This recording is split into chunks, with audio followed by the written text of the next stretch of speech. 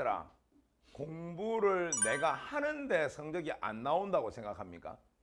아 그래? 아이 그걸 생각하고 있어. 어 그렇구나. 공부를 하는데 성적이 안 나온다. 야 내가 제일 무서워하는 게 뭔 줄 아니? 진짜 제일 무서워하는 게 있어 사실은. 아 내가 이거 막 꼼, 박상현을 꼼짝 마라 시키는 경우인데 어떤 학생 한 명이 있어 분당해야 알았지.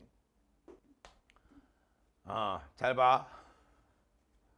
첫 번째 누나가 내한테 수업을 들었어. 서울대 의대를 갔어.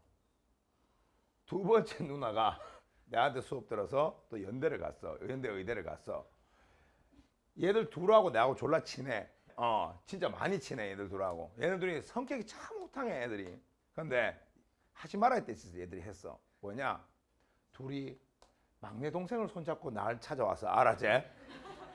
그러면 이거 내보고 죽으란 얘기야 이건 알아지? 어, 내가 얘 성적을 만약에 못 만들어내고 이건 내가 진짜 죽음이야. 그래서 겨울 방학 때 찾아왔는데 내가 방목을 했어. 지켜만 보고 있었어. 왜? 딱 보니까 전혀 안 하는 스타일은 아니더라고. 근데 공부를 정말 개판으로 하는 스타일이야 내가 봐서는. 그래서 57일 남았을 때 내가 불렀어. 요 와스키야. 하고 에스크라이가 딱 왔더라고. 애가 바짝 얼어갖고 왔더라고 알았지? 왜? 무섭니? 라고 하니까 어, 내가 물거나 할퀴진 않아 새끼야. 그러니까 어, 시기더라고. 그때 내가 이런 말을 했다.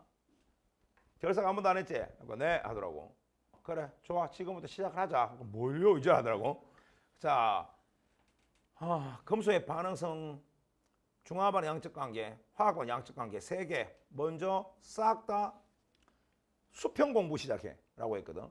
모의고사가 딱 있을 거 아니야. 맞아 안 맞아?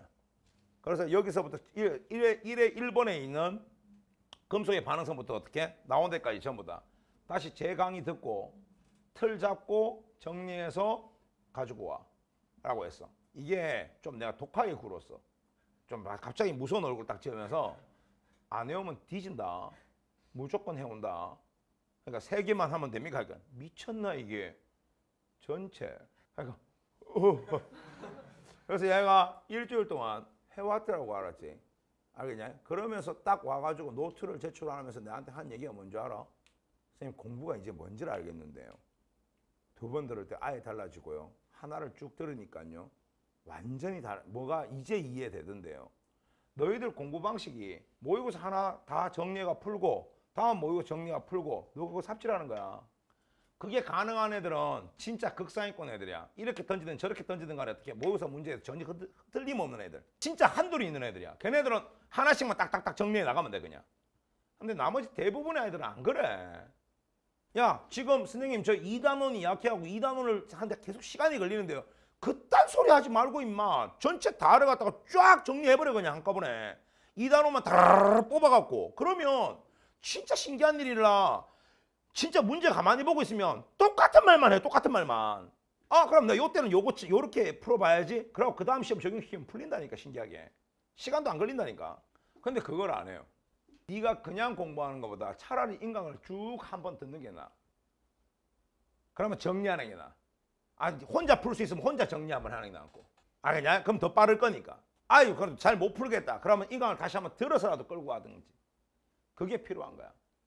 그래서 다음 주에 한번 정리 한번 해보세요. 이제 얼마 안 남았잖아요. 근데 지금 하면 효과 좋다? 짜 이제 얼마 안 남았잖아. 너 벼락치기 대가들이잖아. 맞아 안 맞아요? 왜 아예 또뭐 벼락치기 뭐 10일 10일을 기다리고 있네. 저는 10일 전에는 움직이지 않습니다. 뭐 이런 거야. 그러지 마라 알아네. 어.